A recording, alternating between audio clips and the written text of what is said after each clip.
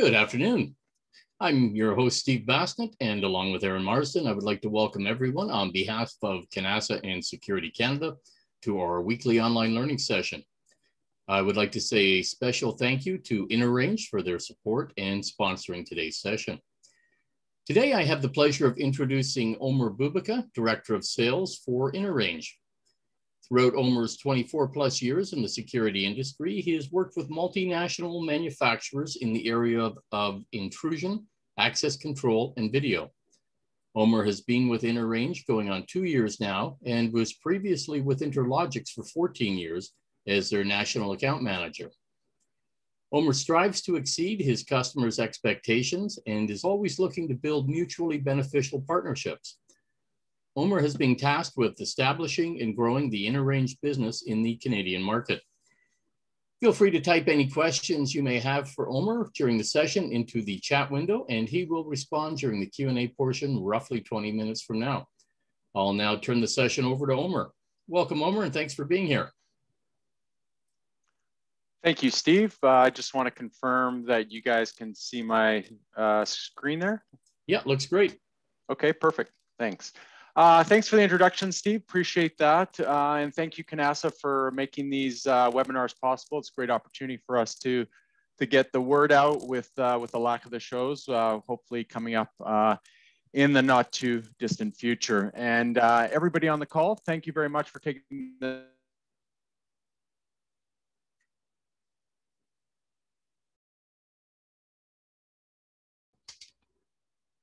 Sorry, Omer, I think we lost your audio, sir.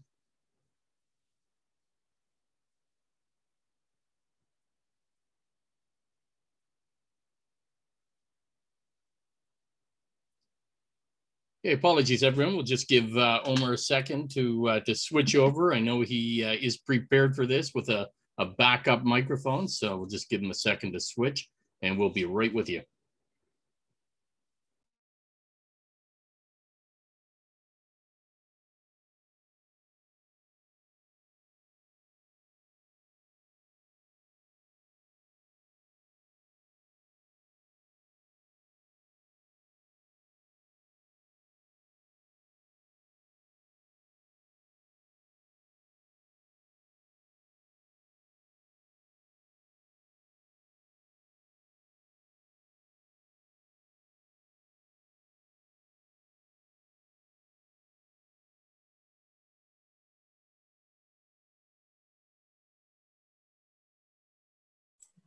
You're on. Is that working? Yes, sir. Welcome me? back. Okay, sorry about that. Uh, good thing I was sort of prepared.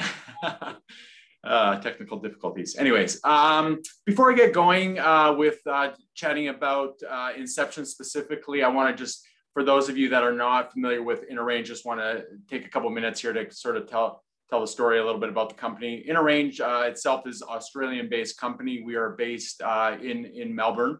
Uh, we've been around for over 30, 30 plus years now. And uh, that office that you're looking at there is our head office where we do all of our R&D. Uh, we do our manufacturing and uh, uh, warehousing in that facility as well. And then we do all of our development uh, there as well for hardware as well as software. So it, it is great to have our entire development team under one roof. you know, the advantage of that is if, if we need to make any changes to the product or or do or react to, to anything going on specifically with our products and deployment, uh, we can do that very easily from, from one location.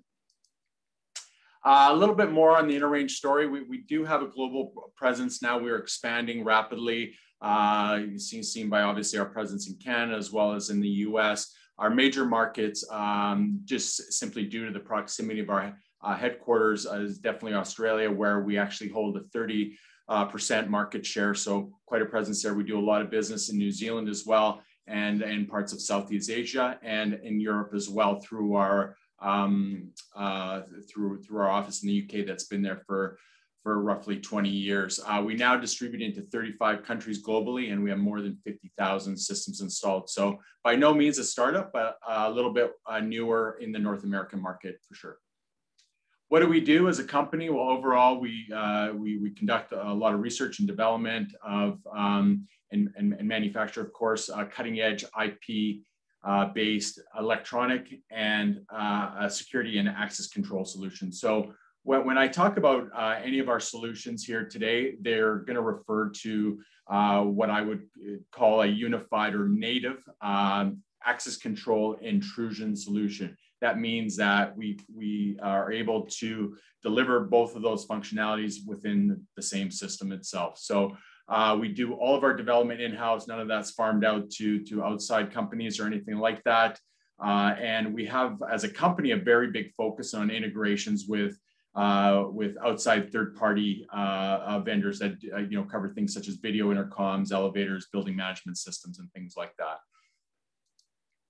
Why Inner Range? Um, well, uh, when you look at the product selection overall, definitely very scalable. Today, I'm going to be spending my time talking about Inception, which is really an SMB or, for lack of a better word, entry level solution. And then we have a whole other solution in our Integrity platform, which is a full blown enterprise uh, uh, solution, um, really, really a cutting edge solution that's uh, you know scalable up to uh, a global system if required. Again, all of our systems are uh, unified or native access control and intrusion. Inception is, is like that, as is integrity. Uh, and then, you know, we, as I said before, we really have that philosophy around open architecture and working with third-party vendors to, to create more uh, capabilities within the system. When we start getting into the enterprise space, this is an important distinction. I bring that up, even though we're not talking about enterprise product today. Uh, Inner Range as a company has a philosophy to deliver an overall uh, lower total cost of ownership. And we do that through our so software licensing. Many of our competitors will do things such as backdating on software maintenance agreements. The, the software maintenance agreements will be mandatory and things like that, which uh, can really lead to a much higher overall cost of the, the system for the end user. Um, some reference sites to share with you just to kind of give you some scope of what we work on. Most of these systems would be done under our integrity platform, but it does give you a sense of uh, what kind of business we do. Obviously, very strong in the uh, the healthcare uh, market as well as in the uh, education market as well. Within the Australian market, over the last number of years, there's been six major universities that have gone out to to update their systems. We've won five of those, uh, and the most recent being Monash University, which is 5,000 plus readers and over 100,000 students in, enrolled uh, at that university. So you can see pretty strong in the education space. We do some um, uh, municipalities as well as critical infrastructure as well. So it gives you kind of a scope of what we do uh, on the enterprise side of things.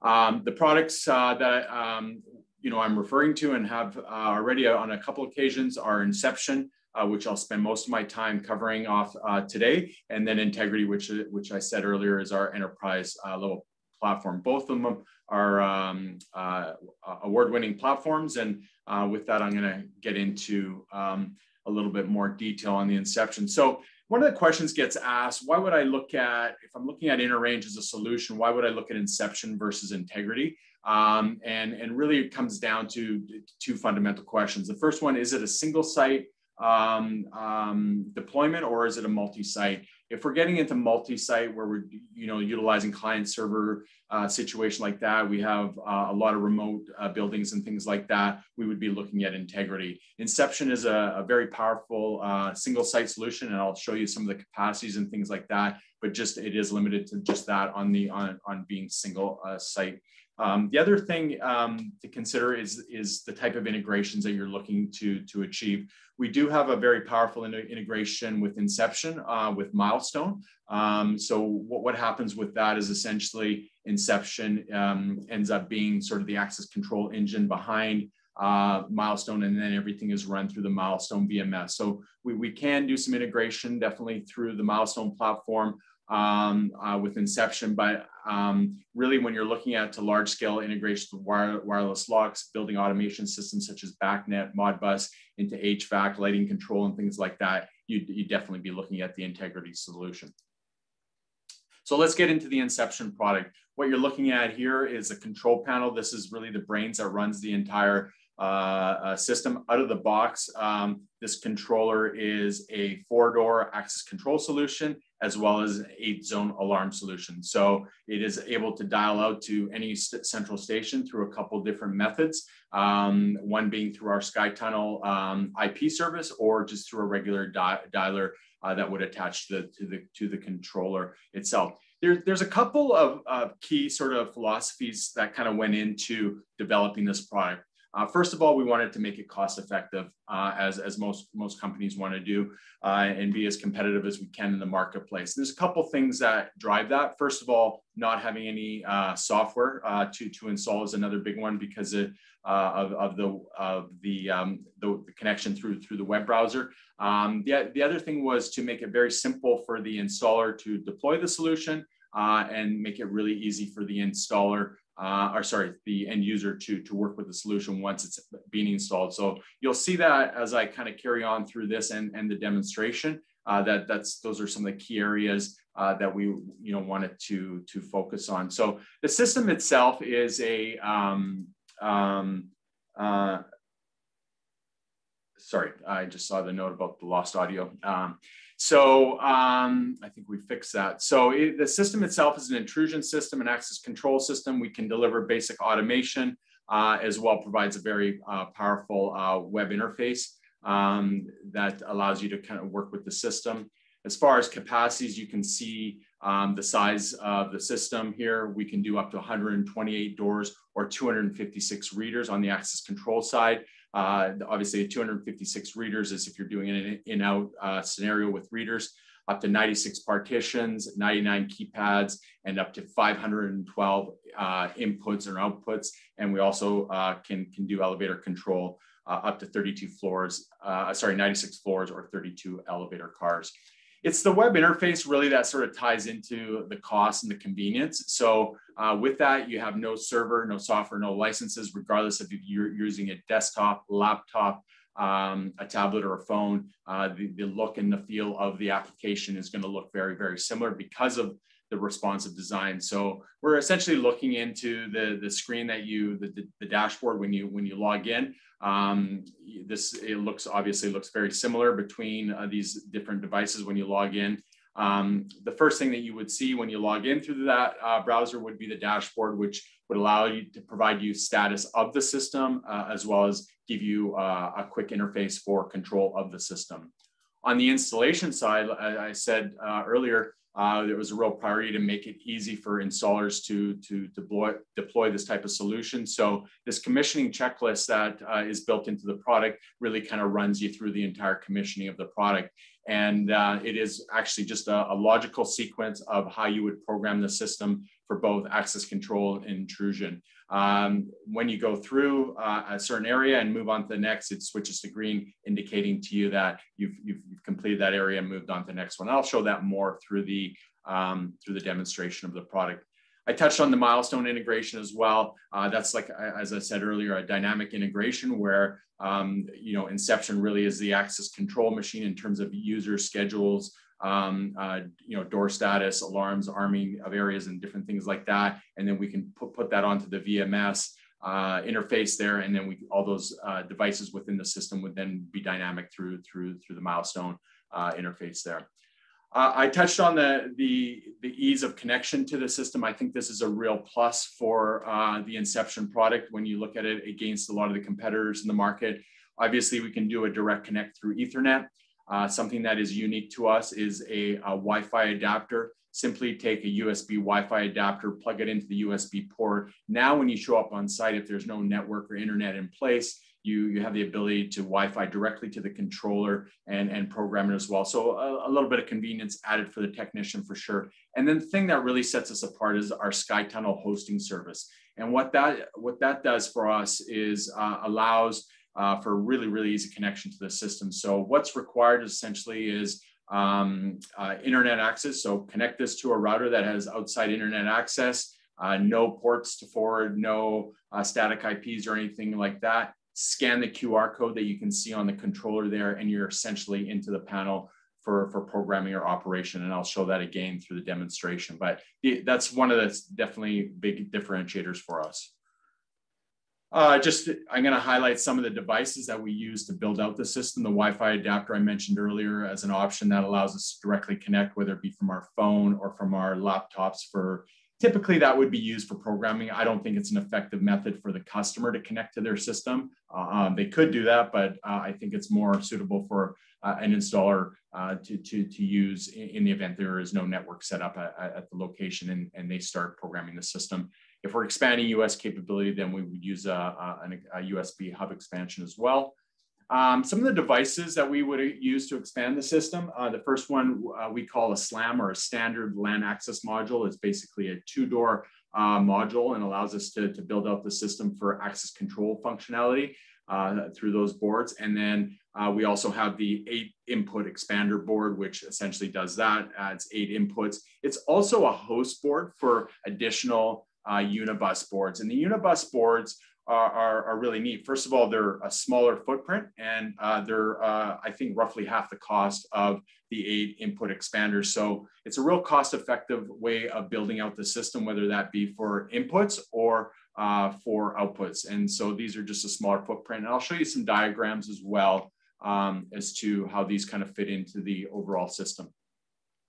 We also have a Unibus board uh, that provides for all elevator control. We can do that through input and output boards, but this basically consolidates it onto one board for up to 16 floors. This board actually provides functionality for a couple things. First of all, um, it will provide button feedback for the audit trail of the system. So if someone um, through destination control has access to floors three, four, and five, presses floor five, it's going to tell us in the audit trail that they went to floor five. The other thing it's going to do is once the um, once the user has pressed floor five, it's going to shut off access to floors three and four, so someone can't just get into the elevator and press another floor and gain access uh, to an area they're not supposed to. So there are a couple of different advantages uh, with the with the uh, Unibus elevator board. We also have a uh, um, uh, uh, card readers and cards and tags that we, we offer as part of our system. We use as a standard uh, MIFARE, uh, DESFire uh, EV2 card formats, which are one of the most, most secure that I've heard of. All of our readers are OSDP and everything is, is run on a uh, RS-45 LAN. So very, very easy to, to power and very secure for your system as well. Uh, this is a typical topology of the system working off the main inception controller. We have a reader port that uh, really, um, obviously, you, you, know, the system is, is four, four readers out of the out of the box. As I said, you connect them right through the reader port there. And then if you're building the system out over the 45 LAN, then you would obviously connect through that port and then expand the system accordingly. And expansion would ha happen, you know, through a few different ways. Um, through Anixter, we offer uh, uh, assembled kits, and these kits uh, basically uh, come pre-assembled and tested. So there's an advantage, obviously, for convenience to purchase them in a kit, but also the fact that we actually power them up, check that they're operational, and then we ship them out assembled. So if you're looking at uh, kit two here, it's, it's, it's basically the controller itself, the power supply that comes with it, and then you have an eight input expansion board. So uh, in a scenario, if you're gonna do uh, four doors, um, you would do that off the main controller. And then if you wanted to add an additional, say six zones of intrusion, um, uh, you can do that very easily within one enclosure, just as, as is illustrated here. Um, to expand the system out just simply for access control, if we want to add additional four doors, we would start with a, um, um, sorry, an enclosure that would come with a uh, three amp a smart power supply, which would deliver enough power to run the locks and the doors and everything that you need. And then you would have two boards within that enclosure, each of them supporting up to two doors or four readers if you were going to go to a in-out scenario there. Uh, continuing sort of another option in terms of expansion, and, and I wanted to show you um, how we do with the Unibus um, boards. And so we would again start with enclosure with the appropriate power supply. The eight input uh, expander would be our host module. And then through that Unibus connection, the red connection that you see there, we would be able to add additional eight zones. And you can see there's still um, more space within the enclosure. So we can utilize that to add an additional eight zones or even another um, uh, eight zones on top of that as well. So bringing uh, um, this enclosure with expansion uh, up to 32 zones in, in total. So that kind of covers off kind of the overview of the product. Um, what I'm going to do right now is I'm just going to switch over to um, uh, another screen and, um, and share with you, uh, sorry, bear with me.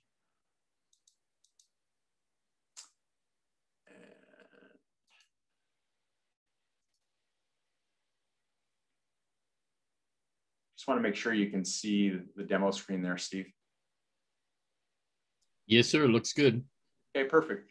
So as I said earlier, uh, one of the key points was that ease of connection to the system. And so um, we've now connected the, imagine we're on site, we've connected to a router with internet access, uh, plugged it in, we've scanned the QR code in, and we've essentially gone to this point here. And what it does is it sets us up in a browser and it sets us up with the serial number that's unique and the IP address it's uh, automatically assigned to the controller itself. So um, I've scanned the QR code. We have a little shortcut where I would just double click on the, um, the logo and that, that just inserts the default installer code and then it would get me into the system. You can see just how quick uh, we got into the system.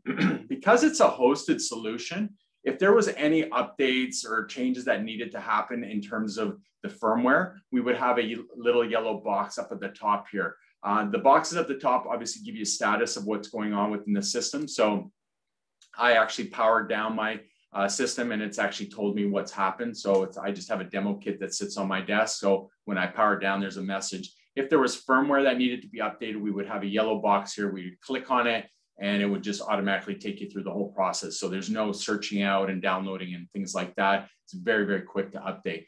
The checklist uh, actually gives us status of what we've done in, in terms of the overall programming. So it indicates that we've done one of 22 steps. I'm going to reset that checklist and kind of go back to the dashboard uh, at first. So if I was going to log into the system, the first thing I would typically see would be the dashboard, and that allows me uh, control the system. So whether that be uh, an access control door that I want to un unlock, or whether it be uh, an area that I wanted to arm, I can do that very, very easily. You can hear the control panel probably in the background beeping, indicating what we've done with the system. So it also um, uh, provides um, instant status. So if I was actually at a reader, which I am right now on my demo board, you can see it automatically, it's dynamic, it shows you that. Um, with this type of system, when you have intrusion and access control native to the, to the same system, I, I can also swipe multiple, multiple times to actually arm the system. So you can see the system's been armed there with multiple swipes. It's actually three swipes that I have programmed. You can do it with two as well.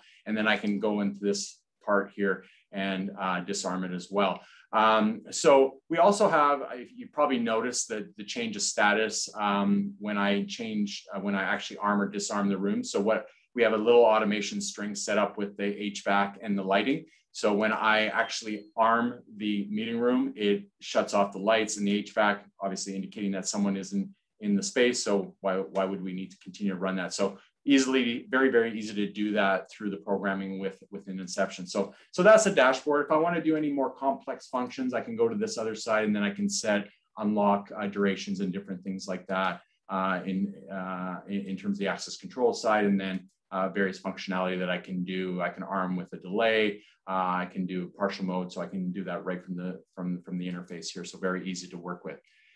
Going back to the commissioning checklist, as I said, the idea behind that is really making it very easy for the installer uh, to to program the system. So. Uh, the feedback that I've received thus far is you, you almost don't even need to go through training because it kind of walks you through the whole thing. And so I'll show you the sort of the first uh, example of um, you know, what it's like to program. So you go into the area, you're going to program and so your network settings. Uh, we can, you know, uh, you know, configure the Wi-Fi or the Sky Tunnel, which is default on because we're connecting, like I said, through through just through a um, internet access router. Uh, but if you're not sure of the area that you're programming, you can um, you can select read more and it's going to give you a full sort of manual explanation of what you're doing within that section. Let's assume that we've programmed this and we're done. I'm gonna go back to the checklist. You can see that's changed to green and it essentially walks you through the entire programming of the system. Uh, it's also worth noting that our um, all of our modules, uh, when connected to the control panel, are all, all auto discover as well. So that means when you've uh, plugged them in and you've powered it up, the, the system can automatically see that. And so what you would do then is just uh, um, you're just basically assigning areas and locations and uh, and you can do that all through a wizard that kind of basically walks you through the whole process. So the programming of the system is very very straightforward. Under state and control, uh, this is just different areas if you want to go into manually and control specific um, uh, things within the system. You can also do a walk test of the system here. So imagine if you're installing the system, you finish programming on your laptop, but you want to do a walk test. Well, you can now do that on your phone. Uh, you don't have to uh, carry your laptop around and, and you can go through the various functions and check them as you go and then print a report to indicate that um, everything has been done, um, uh, you know, in terms of programming of the entire system. You can do a hardware test as well, see all the peripherals, everything within the system through this area. Uh, configuration area is, is essentially a um, area where we can manually go into each specific area. So as an example, if I was going to go and program users, I would simply go into this area here and uh, you can see, you know, sample users uh, sort of credentials that they have already programmed. Uh, if we wanted to add someone, we would simply click on add uh, as opposed to doing it through the commissioning checklist. The commissioning checklist is something you'd probably have set up uh, initially as the installer default. And then when you turn it over to your customer, uh, you can take that out of there and you can set, set up the interface according to their login so they can only uh, do certain things with the system. You can also host this as a solution and, and manage all this for your end user as well, uh, because it's very obviously very easily done remotely um, through, through, through the um, through the SkyTunnel service, which allows you to any browser log in uh, remotely as well. So you, that's an option as well. Uh, a couple other quick things uh, before I wrap up. Um, the, um, the backup restore function is something that we need to do with, with access control systems. So very easy to just download the backup here if you wanted to do it to an external drive. Uh, restoring uh, backups and defaulting the systems very easily done here as well. We can get full system overview. Something I get asked a lot about is reports. Um, in, and so select the type of report that you're looking for, uh, and then the format you want to get it in, you simply download it. And, and here's an example of a user uh, current location report that we can use. Um, so, or, or an access history report. So this is an example of what might come up with uh, one of those reports, pardon me. And then uh, last but not least is the firmware update. If, if, if I didn't go through the yellow box I indicated earlier, then what I would simply do is uh, click on update controller or modules, and we can do that automatically uh, through the hosted solution. One last thing before I finish, uh, we also have a, a neat way to uh, brand the system uh, for your company. So we can actually change out this Inception logo that you see up in the top left corner, and we can put your company uh, logo in there very easily, uh, simply by going into configuration, general, system, and then down here, and you can see custom branding and allows us to customize messaging and branding on the screen. You see how easy it is to interact through the system very quick. So, um, but I think that wraps up uh, in terms of the uh, demo. I'm gonna just turn it back over to Steve here. I'm just going to get back to the right screen and that would conclude presentation. Great. Thank you, Omer. Thanks, Steve. If, if anyone has any questions, please type them into your Q&A window now, and I will uh, proceed to stumble through them it looks like we got a, a few uh, lined up here. Uh, first off, Omer, is there an API to interface with other building systems? There is, I would say um, for sure there is. Uh, we, we have that option available. I would say with Inception, uh, it wouldn't be quite as extensive as it would be with Integrity. I would say reach out to me and and and let me know sort of what the specifics are, what you're trying to do, and then we talk about the details. It can get pretty complex as far as integration goes, um, but we do have APIs available that you, you can do that for sure. Okay. Are your SIFER readers wired back to the controller via proprietary RS-485 format, or does the controller have native OSDP? Um, it's yeah, it's a good question. It's I believe it's it's 485. Okay, I can uh, always send these to you after the fact if you want to uh, shoot people yeah, emails sure. with the answers. Yep. Okay, uh, next up is the elevator board for a single cab application. Uh, we can support up to uh, 32 cabs or 96 floors. Okay. Uh, is this system ULC approved for fire panel monitoring? Not for fire panel, but for intrusion it is. Great, thanks. Uh, and we are working, sorry, sorry, just to finish that up on the fire side, um, we're, we're definitely go, going to get it ULC approved, but it's not at this time. I would say it's probably six months to a year off. Okay. Uh, what is the maximum users and events? Uh, maximum number of users is 10,000 um, and the maximum amount of events is 250,000. Excellent. This I like this next question. I might want to get in on it. Does Inner Range fly people into Australia for training? Oh, definitely. Yeah. uh, no, uh, uh, we, we do not, uh, as you'd expect. That's a good question. Yeah. But um, no, with Inception, uh, a lot of the installs that we have thus far, um, you know, guys have just done by going through the commissioning checklist.